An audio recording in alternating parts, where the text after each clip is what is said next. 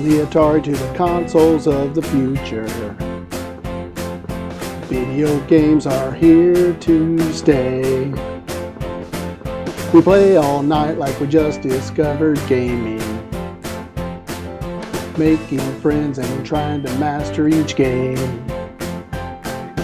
Going to the store for midnight releases.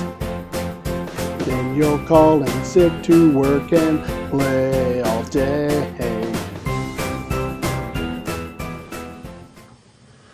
Welcome to Adventures in Gaming. Today I'm going to answer 12 gaming questions uh, inspired by Dean Thompson of uh, Escape to Gaming.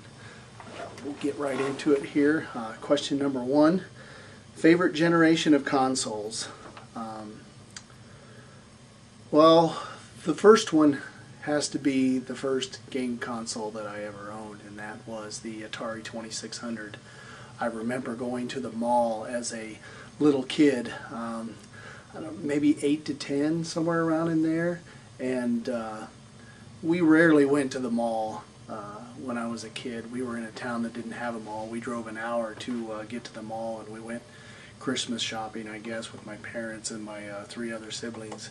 And I remember being in Sears or Montgomery Ward or something to that effect, and on an end cap there was this new gaming console thing, and, and I had never heard of it before. And uh, I think there was a tank game that was playing on it, and you could play it. and I absolutely fell in love with that, and it was, of course, asked for for Christmas from Santa. And uh, that year we got the Atari 2600 for Christmas, and I had hours upon hours upon hours of enjoyment from that game console. And from that moment on, I was stuck with gaming, uh, which I'm sure is going to be for the rest of my life. I've enjoyed it uh, immensely uh, since then, and that would have to be uh, one of my favorite consoles.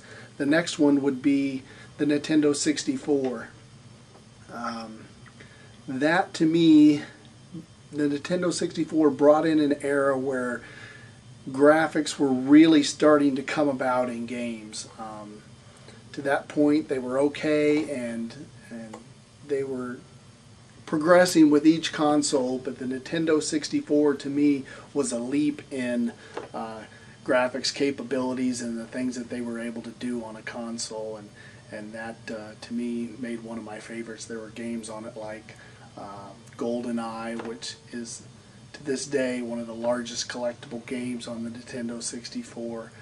Um, Killer Instinct was an arcade game that I had spent a lot of hours on, and that came to that console, and it wasn't exactly the same as the arcade version, but it was pretty close, and it, and it did a great job of recreating that arcade console, which uh, I enjoyed a lot of hours on. Uh, my third one would be the Xbox 360 that uh, ushered in what I would call the modern era of gaming for me. It was the first console that offered online multiplayer and that for me changed gaming in a way that made it so much more exciting and so much more real to me because I didn't have anybody that I could play with um, my games and, and online multiplayer. I, when growing up, I used to play with my brothers and and uh, we had countless hours of sitting side by side and doing that. But once I got grown up and out of the house and, and married and I just um, didn't have anybody to play with. I'm sitting playing single player games, and when multiplayer came along, uh, that was just really something that expanded the experience for me. So the Xbox 360 did that, and that would be uh, my third uh, generation of console that I like. Number two, favorite gaming franchises. Uh, first and foremost, it would have to be NASCAR. There's a series of NASCAR games that I have owned uh, starting with the GameCube and NASCAR 2005, all the way up to the latest release of NASCAR 14, which just came out uh, less than a week ago. So uh, that is my sport of choice and my game of choice when it comes to uh, gaming online. Bioshock is another franchise that uh, I just discovered actually last year and have played through the first two, and I got Bioshock Infinite uh, in waiting, uh, waiting for me to get time to actually play it and finish that series off. Uh, the third one would be going back uh, in time a little bit, and that's anything Mario. Um, I was a Nintendo fan for years with consoles, starting with the Nintendo, the Super Nintendo, um, the Nintendo 64, just the GameCube. Those are all the consoles that I own from Nintendo, and and um, when those when I was playing those consoles, anything dealing with Mario, I pretty much uh, got and played the plumber uh, to, to its uh, extent. Uh, games you couldn't finish or rage quit. Not too many games um, that I couldn't finish, but one that caused me fits and that I just quit playing and have never gotten back into. I could probably put it in my GameCube today and play through it, but um, Resident Evil on the GameCube, I put that game in and it was scary, which was the first like real scary game that I had, and I was just the opening scenes of that thing was like gave me shivers. Um, but there was a certain point where I got into it and I felt like it wasn't very far into the game. Uh, to where I needed a key to open up a door or something like that, and I couldn't find it. And I searched all over, went everywhere. I'm looking all over the place, looking for something that I missed, and I just couldn't find it. And I'm like, I just gave up on it because I'm like, I can't even get past. I can't find this key. I'm never going to finish this game, and that kind of made me mad.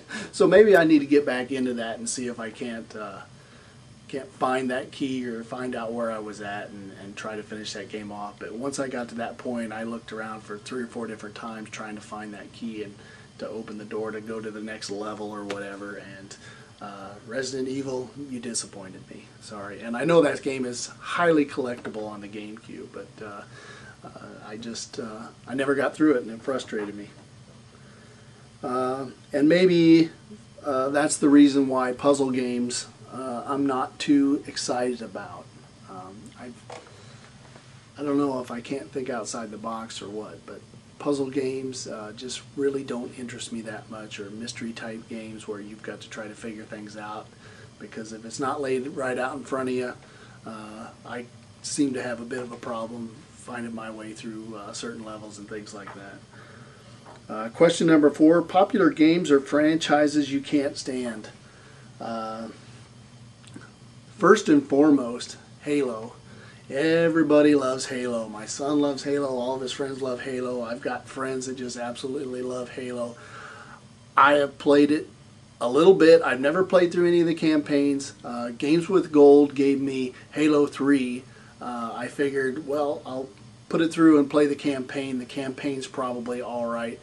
But I played a little bit of multiplayer with my son and his friends, and the idea of jumping up into the air and shooting people while you're suspended in air just does not thrill me at all. To me, that was a feeling of helplessness. Is once you get up in the air, it's like you can't you can't move. You're just you're like on a floating conveyor belt or whatever, and you're pretty much a sitting duck. So for that reason alone, I really didn't like Halo and just haven't gotten into it. Um, and for the same reason, I'm expecting that Titanfall, this wonderful game that's supposed to be coming out for the Xbox One and, and Xbox 360. Um, I didn't watch the clip, but they came out with a, uh, a tips clip for uh, Titanfall here in the last couple weeks. But one of the noted things uh, before you watch the video and the little article was was uh, take advantage of vertical space. Why use stairs when you can fly? And that to me says Halo all over it, and so that alone has got me wondering about Titanfall and whether I could like Titanfall as a game. Uh, the next thing is uh, alien bugs. I can't stand alien bugs. Gears of War, I think, is is an alien uh, type thing, and I don't know. I just I'm like, when you got so many other real people type shoot 'em up things that, that you can do. Uh, why do you need to shoot alien bugs? It, it's just something that for me just doesn't ring well, and, and I've never really liked those games. Um, question number five physical or digital media? I am a staunch physical media guy. Uh, I don't know if it's because of my age. Uh, I know a lot of people are, you know, just download it and go, and that's no big deal. But for me, um, I feel like I don't own the product if I've got a digital download. I did digital download uh, at full price. The only game I've ever uh, digitally downloaded, and that's F1 2013, and that's only because they delayed the release of it in North America for some reason, and I waited a month or two months after it initially was supposed to come out, and they still didn't have a physical copy out. So I finally broke down and bought the digital copy and downloaded to my Xbox 360. Um, to me, it all started with the iTunes music revolution in the fact that um, you download something but you don't really own it. They say you own it, but you don't really own it because to me, when I own something, I can take it and I can sell it. Um, if I buy a car, I own a car and I can sell that car after the fact down the road if I want to get a portion of my money back. Anything from iTunes or these digital downloads that uh, you get off your Xbox 360, they say you own it, but I can't go sell it to somebody. I can't take that digital download that I paid for, say 20 bucks for, and then down the road say, I want to transfer this license to somebody else. Um, that is the one thing I do not like about digital downloads and the thing that just breaks it for me. I like to have the box in hand. I like to know that when I buy it, it's mine and I can do with it as I want. And with digital downloads, that's just not the case. And like I say, it could be because of my age, but um, that's just what I prefer. When collecting, do you prefer complete games with original items or not? I wouldn't call myself a collector of games, but I've I've enjoyed games for a long time. For years and years, I bought games, and then when a new console would come out, um, I would sell off my old games because I found that I would not play.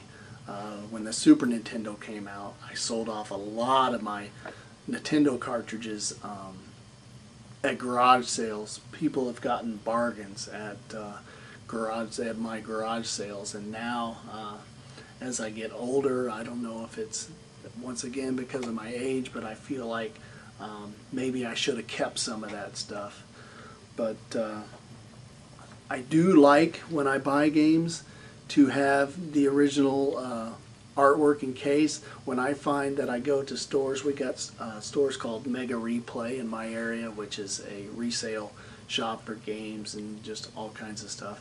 Um, I've got Game Stops. Um, they'll have games that are for sale that don't have the original sleeve uh, inside the plastic box, um, like this one here. Um, they'll have some sort of a copy, some sort of a copy in the in a, in the place of this sheet right here. And I will not buy a game if it doesn't have the original sheet in the outside. Um, why I don't know. I guess it, I feel like it cheapens the product and isn't original. So um, I don't buy games like that. So and I want instruction booklets. I don't want just a disc in a generic box. And so, yeah, I guess I do want all that original stuff, even though I don't consider myself a collector of games. Uh, favorite game box art? Question number seven. Um, I concerned more about box art, I think, when I was younger. Um, when games were fewer and farther between for me. Um, I would eat up, uh, go to go to Walmart and stand in front of the electronics section uh, when I was a kid for where all the games were, and just look behind the glass and just stare at all the box art and oh look at that one, look at this one, this looks neat and all that, and and you would hate to have to ask them because they got it all locked up to be able to open the glass case and slide it open and say, can I see that one? And then look at the box art on the back and and look at it and go ooh ah, and then go no, I don't want it because I don't have the money. I knew I didn't have the money. I was window shopping uh, when I was a kid, ninety percent of the time. Uh, but uh, box art just hasn't uh, been something here lately that really um, draws me to an object. Uh, I'm more looking at game reviews and uh, my Xbox magazine at, at screenshots and stuff like that to decide whether I want a game or not. Question number eight favorite games or series you'd love a sequel or a reboot of? Um, I've looked. I've looked at this, and there's there's not too many. I can only think of one that I really would love to have a reboot of, and that is the game Stranglehold on the Xbox 360. That game is an absolute fantastic game. I would urge anybody who has uh, an Xbox 360 to go out and find a copy of Stranglehold if you can find it. It's an older game. It probably came out in 2008, somewhere around there, 2009 but it had some things in that game that were absolutely fantastic. A slow-mo kill shot where you would follow the bullet uh, path and watch it blow the guy's uh, back of his brain off, and and uh, it had uh, just three or four different things, and I can't remember what they were called because it was my son's game and he got rid of it. Um, which I never got to finish, so maybe I should go out and try to find a copy myself so I can finish that game but uh, it had some fantastic things. You could dive onto uh, rolling carts and roll across and then aim sideways and, and shoot people and, and do all kinds of neat things. And uh, it was had some really fantastic cinematic sequences in it. Um, so Stranglehold, I guess, would be the one game that I wish that uh, if they would reboot that, that would be a, a must-buy for me. Um, Favorite looking consoles. Um, I would say the, the my most favorite looking console of all the consoles that have come out since the Atari 2600 would be the original Xbox. And funny for me, that console I never did buy. Um, I remember going to Walmart uh, when that Xbox was out, and you know they set them out so you can play them. And, and Project Gotham Racing, I think, was a uh, one of the big games that they had on the Xbox. And I would sit there and play it and play it and going, you know, being like the only adult standing around there playing playing the original Xbox. But to me, that the the big X on the front of it and the the shape of the way that was um, really drew me to that console, and I just never bought it because I couldn't afford it at the time. And as previous, I was really a big Nintendo fan, and and the reason I converted from Nintendo over to Xbox was uh, basically Nintendo equaled family games and Xbox equaled adult games, and, and that was one of the reasons I converted over. So a little tidbit extra there. Uh, how important is gaming in your life? To me, it's pretty important. I would call it my hobby. Uh, lots of other people have different hobbies. Other hobbies that I have had in the past were model railroading, and uh, but gaming has really stuck with me uh, for the long haul, and that uh, I would probably say I spend at least on average a couple hours a day. Um, there are some days where I don't play for three or four days, but then I'll get on on a weekend and play for eight ten hours uh, uh, a gaming session and uh, get on Xbox Live on a Saturday night at eight o'clock and play till one or two in the morning till I finally just go, you know what, guys, I got to go to bed because I'm going to be sleeping in tomorrow, and I'm not a guy that likes to sleep in. I like to get up early and, and take advantage of the day. So, um, gaming's pretty important in my life. Uh, favorite YouTube channels you enjoy? Um, I I enjoy um, several different ones. One of them is Vinnie Corleone 62. Uh, he runs the Escape to Gaming series, and I discovered him uh, a little over a year ago, I think it was, when his channel first came up. And it was one of those things where you get on YouTube and you you start looking at videos, and then you wander off into three or four different levels of something else. And this just popped up, and I don't know I don't know how long he'd been on. I don't think it was very long, but he's about my age. Uh, I'm 47 now. I think he's low 50s, something like that.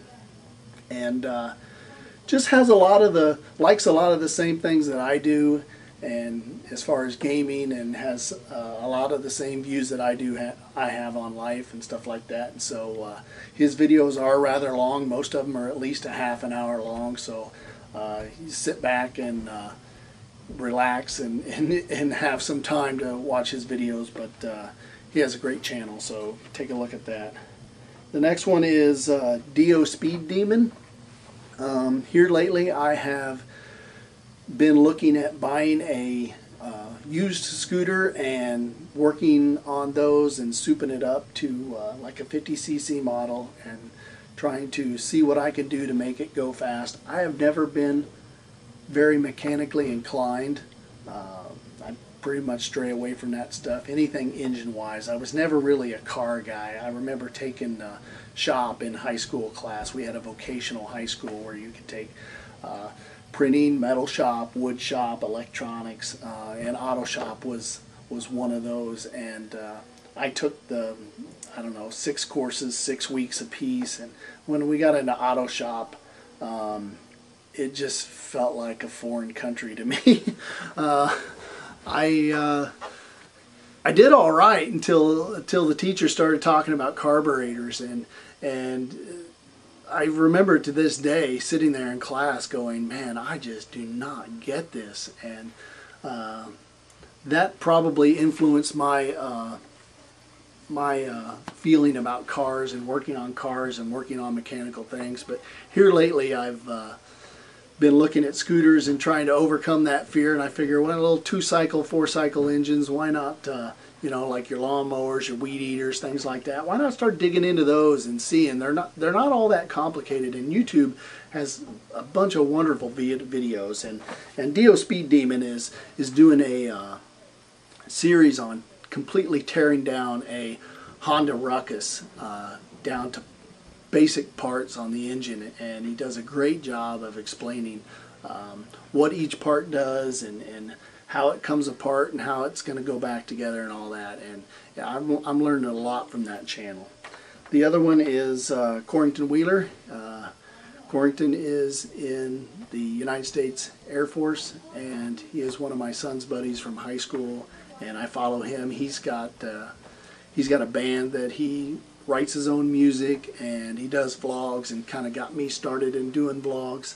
Um, I'll uh, he, he's just a just an overall good guy. It's it's easy to have a fun time when you're around uh, Corey. So uh, I will post these three uh, links to these channels in the description and go check them out if you want. Um, the last question, question 12, most immersive immersive games that grabbed you. Um, lately, it was is Bioshock. I started playing uh, Bioshock. I got the Ultimate Rapture Edition, which included uh, Bioshock One and Two with all the DLC. And uh, I got some time, and I plugged that in, and that game just sucked me in. I just couldn't believe um, how interesting that game was, and how much fun it was, and that I had never played it. Um, I got Bioshock Infinite, as I said earlier, uh, waiting in the wings to get it. I just got to find the time because I'm the kind of person that when I start a game, I want to plunge right through it and go through it all the way. So when I find that I have a few days uh, ready to go, I will uh, plunge through Bioshock Infinite and finish off that series. Um, the other the other one that I have down here is NASCAR 09.